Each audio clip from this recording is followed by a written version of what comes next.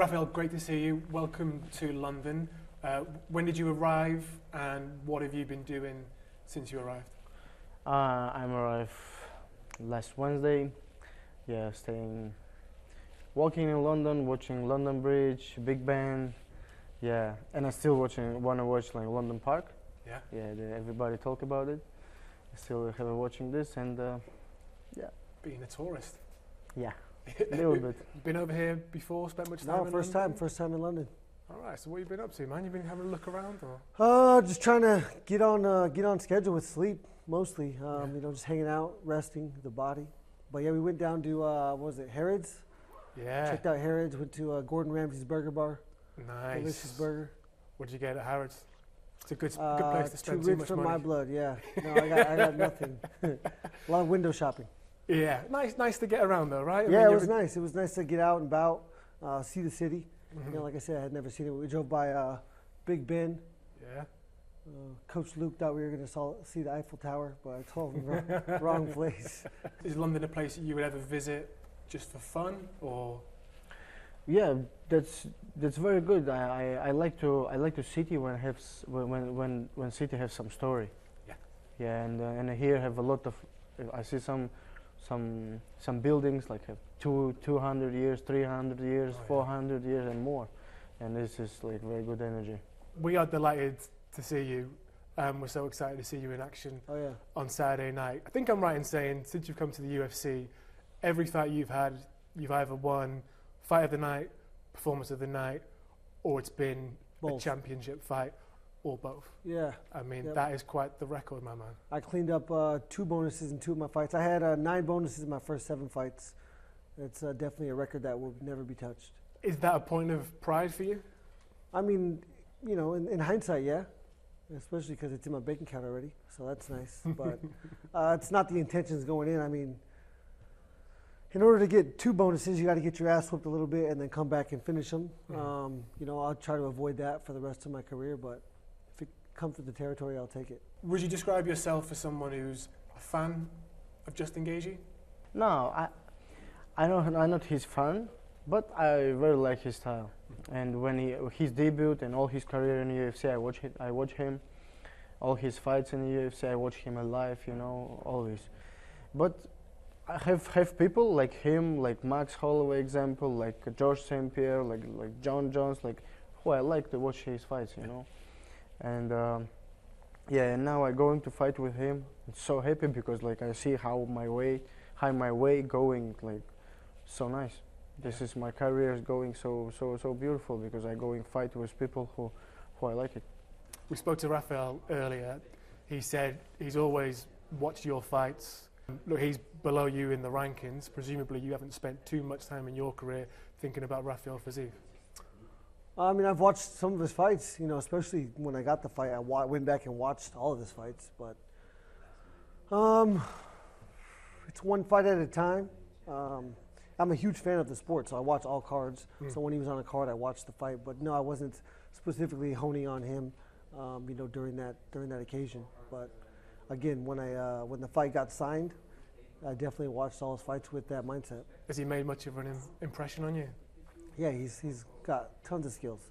Um, crazy, like he has to be, and um, emotional, which is a good thing for me.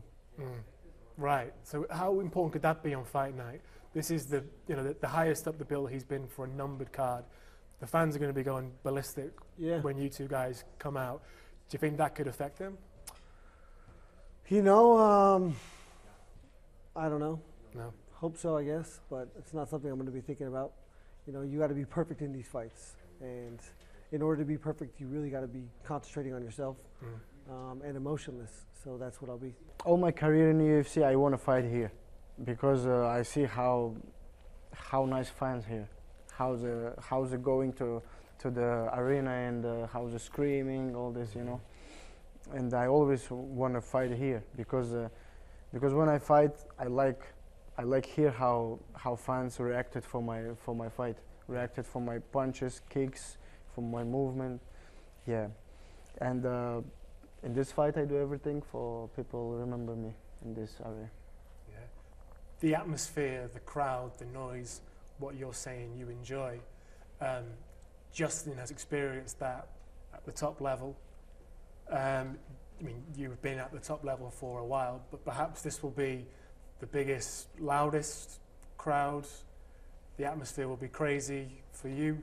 Um, are you happy that you have the experience, that you are ready for that? Yeah, I'm sure I'm ready for that. I'm sh- it's, it's not pressure for me because because I'm so happy for staying here. Yeah, it's a it's my goal Mhm. staying here. It's my goal for way for way to coming here, and uh, yeah, I'm just happy. I'm just happy. That's why I'm, I'm, I'm not thinking about it. I'm, I'm happy a lot. Yeah. Can you describe to us what it's like? Because I think normal people would struggle to understand what fighters are thinking during a fight and where your mind goes. I think for hmm. someone like you, especially when things get particularly hectic, when I'm sure you have to go to a pretty dark place to, to keep going. Yeah. Can you kind of describe to, to normal people like us what Yeah, I think, uh, through your head? I think you just really have to trust in the process that, that got you here. You know, the preparation that you put in, and when it comes to like actual thoughts in the in the cage, I don't think I don't have any, or if Mm. I do, I don't recall them. I mean, it's moving so fast, your ability to retain information is not there. Um, so whether it's happening or not, I mean, you're constantly using your your intuition to judge distance, judge uh, timing, and you know, I don't think that there's specific thoughts that go into that. I So think, it's not like um, the movies. It's not a montage in your head of all the things you've been through in your life Nah, and something that Trevor said to you in training camp or whatever. No, in between rounds, you know, you can you can pull yourself back, but honestly, you just have to be um, emotionless. Mm. Um, you know, any emotion causes a thought. A thought causes a, a pause in action, and you know, in those moments, you can uh, you know not see what's coming. I think uh, trusting in your peripherals, trusting in your instincts, is the only way to go uh, when you're in the fight. Could I ask you about your thoughts of some of the other contenders and champions? Maybe just the first words that comes to mind. We'll start with the champion, Islam Makhachev. Uh, power, Uh, Dustin Poirier, uh, boxing, Charles Oliveira, uh,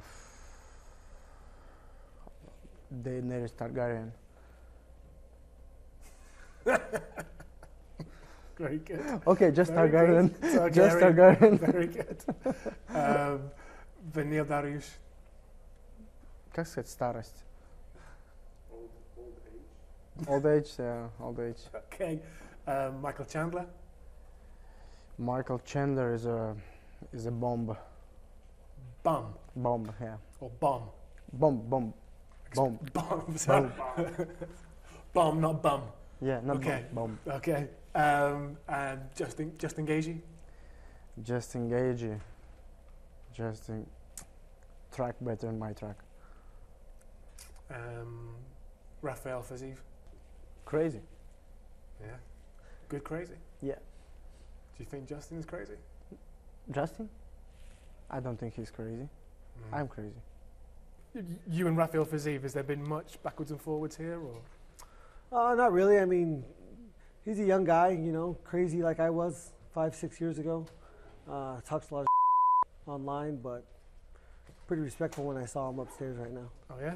Yeah. Did you speak to him? Shook his hand, said what's up, but that's about it. He says he's crazy. He says you're not crazy. Is that about right? Yeah, he doesn't know me, so I don't know why he would think that. Can you try and describe? If you've ever seen me fight, you know that I'm slightly crazy. Every single one of us is crazy that's stepping in there. Yeah. Uh, we're facing a mental challenge, and you got to be crazy to, to accept it and move forward.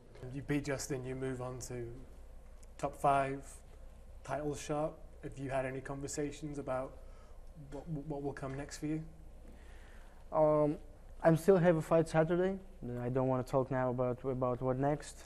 Uh, but I'm sure I'm sure some next. I'm sure I'm sure a good fight Yeah. on Saturday.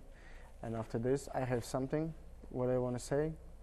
Yeah, but I say this in Saturday. How's fight camp been with you and Kamaru working side by side? You two both looking to get back in that win column. Has that added a, a bit of an edge to? Yeah, to I prep? mean, me and me and Kamaru have very very similar paths from when we were kids to now. Um, you know, wrestling, wrestling in college, competing at that level, and then moving into uh, this sport not thinking we'd ever be this far, Mm. uh, taking it one fight at a time, and then all of a sudden we're just, you know, we're the headline in the co-main event. So it's pretty cool to to share that with him.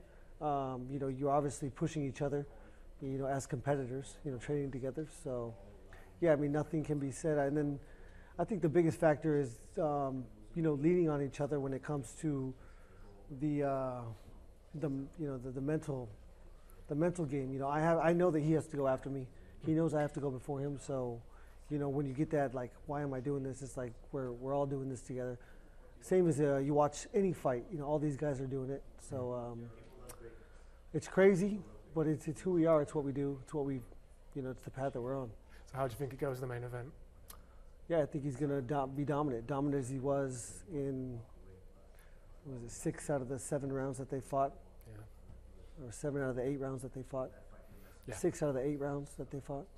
Um, yeah, he's a dominant champion, uh, and he'll be a dominant champion after Saturday night. You still see him as he's the superior fighter, and that's what. I mean, if you watch the fights, then that's the only conclusion you can come to. You know, he was winning. He maybe have lost the first round, you know, two or three minutes of the first round, and about 10 seconds of the fifth round. In between that and the first three rounds that they fought, he was dominant, and I see that happening again.